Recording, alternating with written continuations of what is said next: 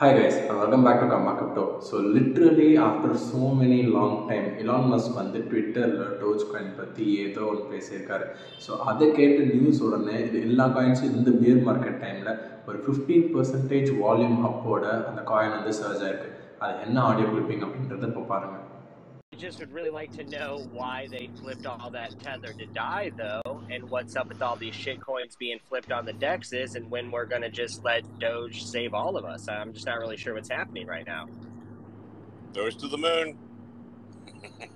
no fucking way. No way. No way. Oh my god. Where the fuck? So இந்த audio clipping தாங்க ஆக்சுவலாக ஒரு live event நடந்திருக்கு அந்த ஒரு ட்விட்டர் லைவ் ஸ்பேஸ் ஈவெண்ட்டில் வந்து ஒரு ஸ்பீக்கர் வந்து சொல்கிறாங்க இந்த மாதிரி வந்து டெத்தர்லேருந்து எல்லா ஷிட் காயின்ஸுமே வந்து பயங்கரமாக கொலாப்ஸ் ஆகிருக்கு அண்ட் அப்போ நம்மளை காப்பாற்றிட்டு இருக்க ஒரே காயின் வந்து டோஜ் காயின் தான் அப்படின்னு சொல்லியிருக்காரு. அந்த அந்த லைவ் ஸ்பேஸில் இலான் மஸ்க் வந்து மேஜிக்கலி வாஸ் அட்டெண்டிங் இந்த எஃப்டிஎக்ஸோட இதை பற்றி பேசுகிறப்போ அவர் உடனே வந்து doge coin to the moon அப்படின்னு சொல்லிட்டு ஒரு இமேஜை வந்து பாப் அப் பண்ணியிருக்காரு அப்படின்ட்டு எல்லாருமே அதிர்ச்சி ஆகிட்டாங்க பிகாஸ் அவர் முன்னிலேருந்து கிரிப்டோ கரன்சி வந்து பார்த்திங்க அப்படின்னா டோஜ் காயின் வந்து பார்த்தீங்கன்னா எலான் மஸ்க் தான் பயங்கர ஃபேன் ஃபேவரட்டாக வந்து அதை ப்ரொமோட் பண்ணிட்டு இருந்தார். அவர் டோஜ் காயின் டெவலப்பர்ஸையும் பயங்கரமாக ஹெல்ப் பண்ணிட்டு நல்ல மோட்டிவேஷன் கொடுத்துட்டு இருந்தார். பட் ஆஃப் லேட்டாக வந்து பார்த்தீங்கன்னா அவர்கிட்ட வந்து எந்த ஒரு அப்டேட்டுமே கிடையாது. ஸோ அதனாலவே வந்து பார்த்தீங்கன்னா டோஜ் காயின் வந்து ரெட்டு ஒரு ஃபார்ட்டி ஃபைவ் ஃபிஃப்டி ருபீஸ்லேருந்து ரொம்ப டவுன் ஆகிட்டு அது ஏறவே இல்லை. அப்பப்போ இலான் மஸ்க் ஸ்பீட் போடும்போது மட்டும் ஏறிச்சு. ஸோ இந்த நம்ம ஷோவில் ஓப்பன் டாப்பில் என்ன பேச போகிறோம் அப்படின்னா இஸ் ஒன்லி இலான் மஸ்கோட ட்வீட் மட்டும்தான் வந்து டோஜ் காயினை வந்து பயங்கரமாக வந்து பம்ப் அப் பண்ணுதா? இல்லை உண்மையிலே வந்து டோஜ் காயினுக்கு வந்து நல்ல ஒரு ஃபியூ ஃபியூச்சர் இருக்கா? அப்படின்ற ரெண்டு வாரத்தை தான் நம்ம பேச போகிறோம் ஸோ ஆஃப் லேட் இந்த ஒரு டோஜ்கோனோட புல் மார்க்கெட்டுக்கு அப்புறமே நம்ம வரலாமே. அவர் ஸ்டார்ட் பண்ண அந்த எஸ்என்எல் ஈவெண்ட்டில் இருந்து இருக்கட்டும். அதுக்கப்புறமேட்டு வந்ததுலேருந்து ஃபிஃப்டி ருபீஸ் போன டோஜ் காயின் வந்து அதை பற்றி ஏறவே இல்லை. ஆனால் இலான் மஸ்க் எப்போல்லாம் டோஜ் காயின் பற்றி ஒரு ட்வீட் போடுறாரோ இல்லை வந்து ஏதாவது பண்ணுறாரோ ஒரே ஒரு பயங்கரமான பிக் கேண்டில் வரும். அதுக்கப்புறமே டவுன் ஆகிடும் அதனால அந்த நிலையான இடத்துல நிற்கவே இல்லை.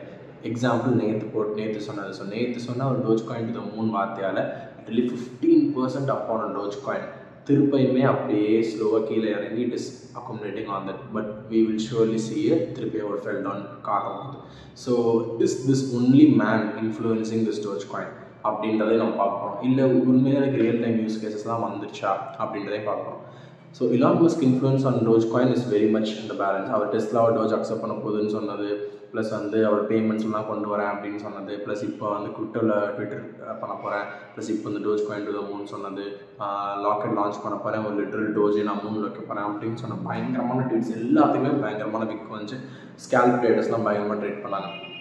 பட் ஒரு லாங் டைம் ஆப்ஷன் பார்க்கும்போது இஸ் டாஜ் காயின் அதில் ஃபியூச்சர் அப்படின்னா yes it also has a future so Elon Musk வந்து அவர் ஒரு பெரிய இன்ஃப்ளூயன்ஷர் ஸோ அந்த இன்ஃப்ளூயன்ஸை யூஸ் பண்ணி is pumping but is not அவரோட இன்டென்ஷன் அதை பம்ப் பண்ண கிடையாது. It just wants doge coin to be globally financial acceptable like எப்படி வந்து ஈஸியாக டிரான்சாக்ஷன் பண்ணக்கூட மாதிரி இருக்குன்னு சொல்லிட்டு அவர் ஆக்சுவலாக நிறைய ஒரு இன்டர்வியூ கொடுத்துருந்தாரு அதை பற்றி அதே மாதிரி பார்க்கும்போது ரீசெண்டாக வந்து ஈவன் கூகுள் வந்து அவங்க க்ளவுட் சர்வீசஸ்லேயும் டோஜை வந்து ஒரு பேமெண்ட் இதாக அக்செப்ட் பண்ணியிருந்தாங்க. ப்ளஸ் டோஜ் காயின் டெவலப்பர்ஸும் அவங்க ட்ரான்சாக்ஷன் காஸ்ட் லிட்டலி பயங்கர கம்மியாக இருக்கணும். ப்ளஸ் ரிலேபிளாக இருக்கணும் ஸ்பீடாக இருக்கணும்னு சொல்லிட்டு பயங்கரமாக ஒர்க் பண்ணிட்டு இருக்காங்க. Doge developers Twitter page visit பண்ணலே பார்க்கலாம்.